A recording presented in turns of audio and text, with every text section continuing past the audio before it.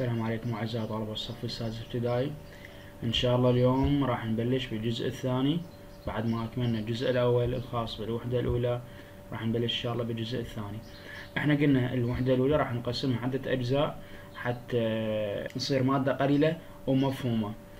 اليوم راح آه، نعرف استخدامات إنه أون وآن طبعا إحنا أخذنا أول شيء أسماء العائلة بعدين أخذنا الوظائف بعدين أخذنا استخدام أ وأن وبعدين أخذنا كل وظيفة يعني كل شخص عنده وظيفة وين يشتغل. فهسه قبل أسماء المكان عندنا حروف الجر. هذه حروف الجر الدالة على المكان. راح أسوي لك بطريقة سهلة.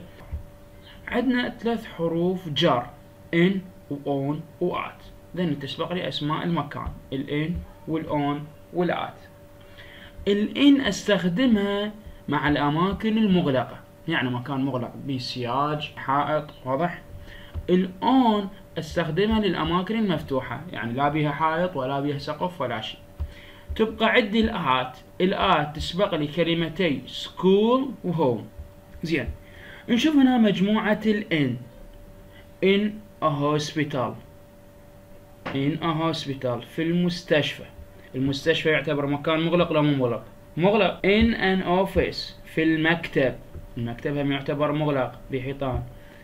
in a restaurant في المطعم نفس الحالة مكان مغلق. in oil refinery مصفى النفط هم مكان مغلق. ستقول لي أستاذ شلون؟ بي جدار لو ما بي جدار بي جدار يعني دا داير مدايره مسيج فيعتبر مكان مغلق. ال on نجي مجموعة on. On the roads طريق. On a building site قاع البناء farm في الحقل. ذن كلهن ذن الأماكن يعتبرن أماكن مفتوحة. فشنو؟ فأحط لهن on لأن ال on تأخذ الأماكن المفتوحة. تيجي نبقى عندنا ال home وال school قلنا تأخذ at. نشوف عندنا كتاب الطالب الكتاب الملون بصفحة 11 يقول read and complete the sentences. يقول اقرأ وأكمل الجمل. هنا المطلوب من عندي استخدام حروف الجر الان والاون والات نشوف الجملة الأولى. يقول my uncle is a waiter. He works for a big restaurant. في مطعم كبير. المطعم مكان مغلق لو مفتوح. مكان مغلق. إيش راح اخلي له in good. Number two. My aunt is a nurse. She works فراغ a big hospital in Baghdad. big hospital مستشفى كبير. المستشفى مكان مغلق لو مفتوح. مكان مغلق. فايش راح أخلي له؟ in very good 3 Wissam's grandfather is a farmer he works فراغ a farm زين. farm هنا معناها حقل. الحقل مكان مغلق لو مفتوح. مكان مفتوح. اذا إيش راح أستخدم له. good on number 4 Duaa's father works فراغ an office? Office معناها مكتب مكان مغلق ولا مفتوح؟ مكان مغلق. إيش راح أخلي لها؟ in very good. Number five. يقول my cousin drives a bus. He works فراغ the roads in Baghdad. The roads. الطريق. أو في الطرق. هنا الطرق. مكان مغلق لو مفتوح؟ الطريق شنو؟ مسيج؟ لو مكان معتدل ما بي شي مكان مفتوح. فإيش راح أخلي له؟ Good. Own. Number 6 a housewife works a home. قلنا الهوم إيش تأخذ لي؟ قلنا هي الوحيدة تأخذ لي at. واضح عيني؟ زين. هسه عندنا الكتاب النشاط صفحة ثمانية تمرين بي يقول complete the sentences and write the job. يقول أكمل الجمل واكتب الوظائف. نشوف الجملة الأولى. يقول this person works for a hospital. معرف لي الوظيفة ويريد من عندي اسم الوظيفة. يقول this person works for a hospital. هذا الشخص يعمل في المستشفى يا هو الطبيب. زين. قبل اسم المكان لازم نخلي حرف جر. Hospital. مكان مغلق ولا مفتوح. مكان مغلق فايش راح أقول in number two. This person works فراغ a home. نجي لل home قلنا إيش تأخذ لي؟ تأخذ لي at good. هذا الشخص يعمل في المنزل. يا هو. قلنا شنو؟ housewife ربة البيت. اللي هي تشتغل وين؟ في البيت. هذا التمرين مهم يجيك هذا التمرين مهم يجيك على شكل اختيارات وإجا من عنده آه، وزاري العام. يقول this person works فراغ the roads. هذا الشخص يعمل في الطريق. هنا الطريق شنو؟ مكان مغلق ولا مفتوح. مكان مفتوح. شو اخلي له on. زين. شنو شنو اسم الوظيفة؟ a bus driver سائق الحافلة. number four this person works فراغ an office. هذا الشخص يعمل في المكتب. المكتب مكان مغلق لا مفتوح. مكان مغلق. إيش راح اخلي له in good. زين يا هو اللي يشتغل بالمكتب. an IT programmer اللي هو مبرمج الحاسبات. ال- آه، أعتقد وصلت لكم فكرة انه أون وات سهلة وبسيطة جدا. ما عليك إلا حفظ اسماء الوظائف. تعرف كل شخص وين يشتغل. لأن كلش مهمة. يجيك أما على شكل املاء أما على شكل اختيارات. هسه عندنا بكتاب النشاط صفحة تسعة. يقول listen read and write the job. استمع اقرأ واكتب الوظيفة. What's my job? ما هي وظيفتي؟ نمبر 1 يقول I usually wear a white coat. يقول أنا دائما أرتدي سترة بيضاء and use stethoscope وأستخدم سماعة الطبيب.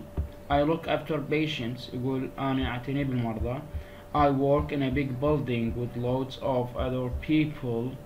Who do the same job. يقول أنا أعمل في بناية كبيرة مع الكثير من الناس الآخرين الذين نفس وظيفتي and with loads of nurses too والكثير من الممرضات أيضا.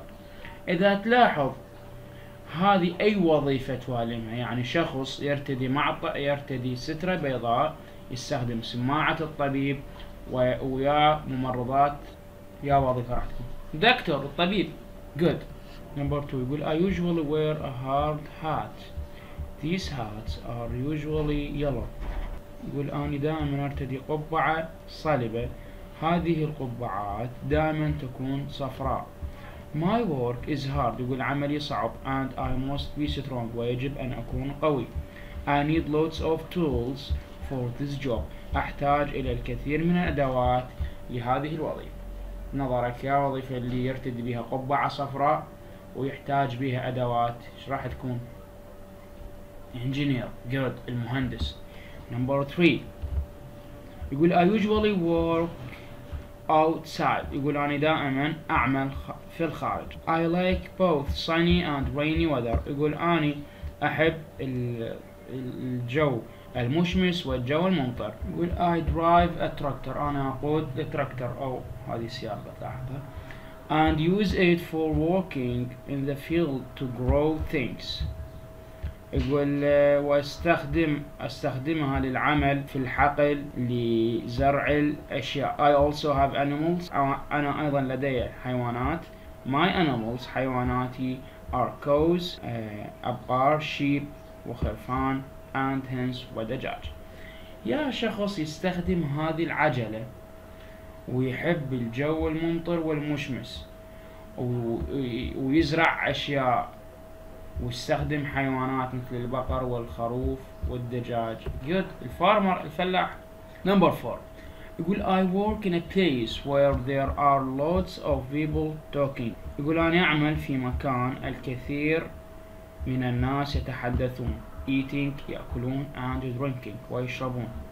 I carry food and drinks on trays يقول أنا أحمل الطعام والشراب في صينية to the table إلى الطبلة I clean the tables too أنا أنظف الطبلة أيضا and then I set them with knives, forks, spoons and napkins يقول له أضع السكين والشوكة والملعقة والمنديل for the next customer للزبون يا أي شخص يشتغل بمكان به الناس يتحدثون ويأكلون ويشربون وهذا الشخص يحمل صينية بها طعام وشراب أي وظيفة راح تكون؟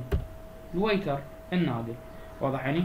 لهنا انتهى درسنا لهذا اليوم. إن شاء الله نلتقيكم بالجزء الثالث. بالتوفيق.